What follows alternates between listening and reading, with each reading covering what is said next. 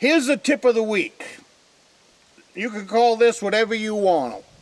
When you have round cement pads and then you put a, a piece of pressure treated post on it or a piece of hemlock for a post, whatever you're using, if you look at the, if you cut off a piece of 6x6 pressure treated and then you look at the core of 6x6, the core of all that 6x6 has no pressure treated in it at all whatsoever. So what happens is the rain uh, hits the cement pad, runs underneath the post, and gets absorbed up into that post where there's no pressure treated. Same thing with hemlock. You can take uh, like the, the fancy the fancy posts that they have on porches, the 4x4 pressure treated post and the fancy.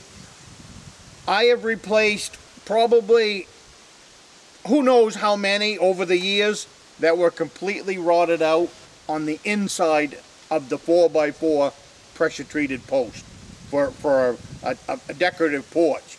And the reason for that is because none of the pressure treated is in the center. So when moisture gets in there, it rots it out. The same thing with decking. You know, uh, when you put down pressure treated decking, it's not a lifetime fix. It's only good for about 10 to 15 years unless you treat it with something. If you just put the pressure treated down and think that's it, you're you're real you're mistaken. And I can get roughs on hemlock to last 15 years. So what's the big deal? You know, that's ridiculous.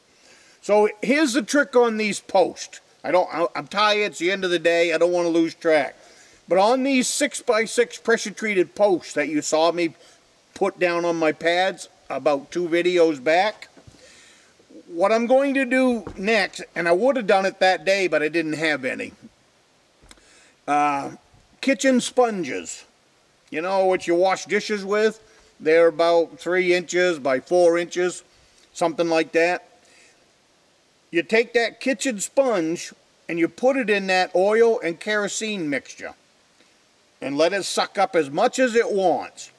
And then what I'm going to do here, I'm going to jack this cabin up an inch and I'm going to slip two of them sponges underneath my post side by side completely full of that oil and kerosene mixture.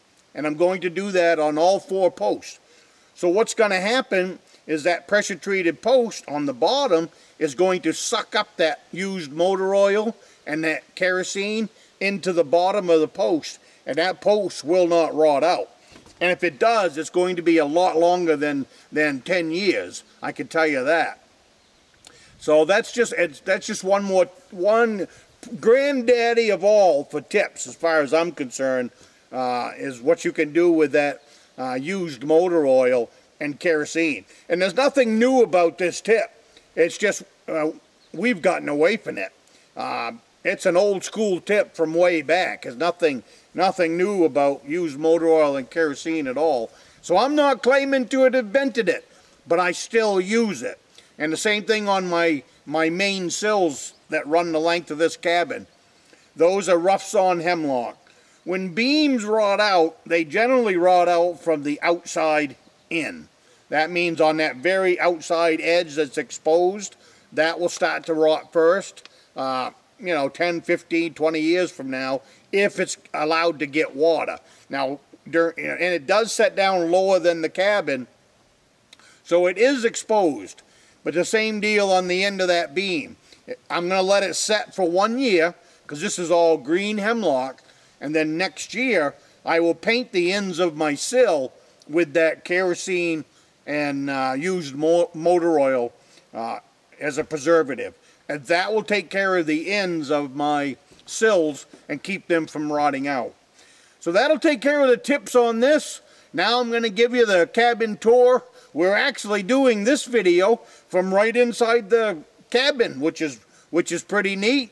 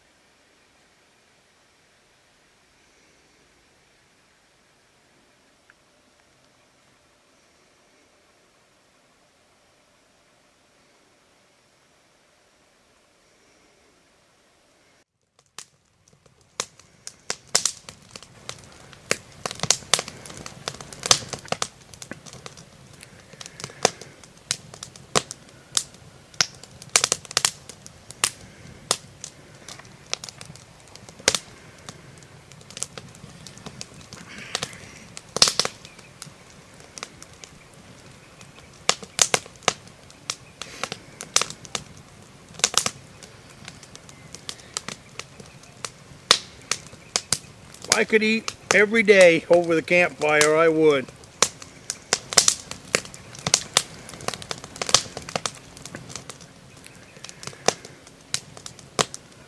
All that meat's got on it is a little salt and pepper, some cayenne pepper, and smoke.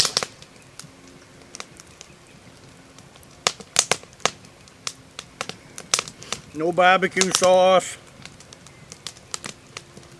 No marinade, nothing. And it's so good.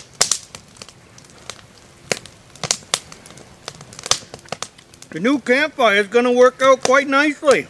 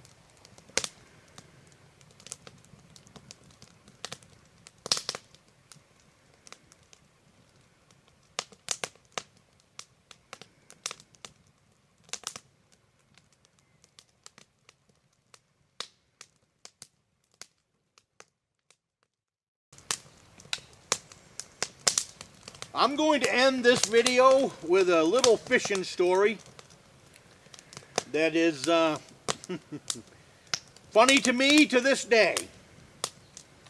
This goes back uh, at least, oh, at least 30 years ago, at least. I used to have a lapstreak boat that came from the ocean. It leaked like a sieve we would take it up to what was called it's called uh, Moosilauke Lake.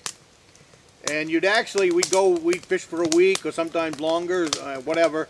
Uh, you'd actually have to take the boat, put it in the landing the night before, pull the plug, sink it down to bottom, fill it full of water, and then let it set overnight so it would swell up. And then you'd go the next day and pump it out, bail it out, and then go fishing. But that's not the funny story but it was part of that boat. Uh, that was my very first boat. We paid $125 for it, and it weighed a ton. That was what 14 feet long, but it would it was it was it was a heavy boat. we didn't have a trailer. We had to stick it on the back of the pickup truck, and I'll tell you what, good thing I was young and dumb. But anyways, I was out there fishing with my uncle, and uh, it, it was just one of them one of them things. I was there fishing. He showed up to visit, and um, I said, "Hey, I got an empty boat. You want you want to go fishing?" So he said, "I'll grab my rod." So he grabbed his rod, and we went out fishing for the day. And I don't know, it was a couple hours into the day, and he got a fish on. What's funny about this, you know, I knew when he, when he grabbed his, I mean, I was probably about 20 years old at the time. You know, every you know we'd have to sell equipment just to get to the next next season. You know, sell a gun, buy an outboard type deal back then, just so you could you could hunt and fish the next season that was coming. So when he got in the boat, he had a fish pole, and it it didn't. It was one of them uh, bale reels, and you could see that it didn't have hardly any fishing line on it. I mean, you might as well said he was fishing with an empty, an empty pole. Well, as luck would go, you probably know where this story's going. Uh, we get out there, we're fishing, and he hooks into a five pound brook trout, 24 inches long. And that brook trout, all he wants to do is go to bottom.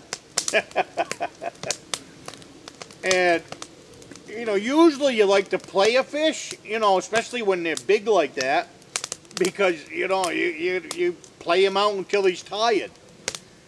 But we would be, we would be, uh, he'd be reeling, and then the fish would make a, a dive for bottom. Just right down to bottom.